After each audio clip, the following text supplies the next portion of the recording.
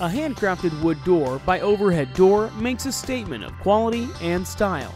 Their look and architectural appeal are unmatched. The process is simple. Overhead Door can create your custom wood door 100% from scratch, either using one of our 20 different designs or using designs from your architect or imagination.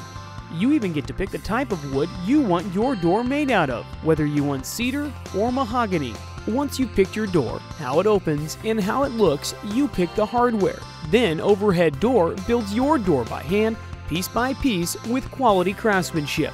The outcome is extraordinary. No bolts or hinges can be seen from the curb, and your door is crafted with a guarantee of quality. So if you're thinking of adding custom wood garage doors to your home, call Overhead Door. We combine our tried and true technical know-how with expert craftsmanship to create a door that is built to stand the test of time.